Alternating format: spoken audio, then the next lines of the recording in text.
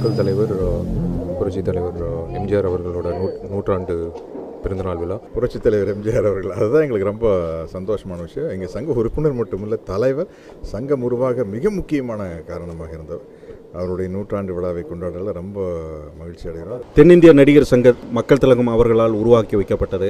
இந்த கலைஞனை அந்த மக்கள் கொண்டாடும் அந்த தலைவனை இந்த நூறு ஆண்டில் தென்னிந்திய நடிகர் சங்கம் பெருமையோடு நினைவு கொள்கிறது. அவருடைய கொள்கையில் தான் நான் இன்னைக்கு வரைக்கும் நடந்துட்டுருக்கேன். என் உடம்பை வைத்துக் கொள்வது ஆரோக்கியமாக இருப்பது எல்லாமே.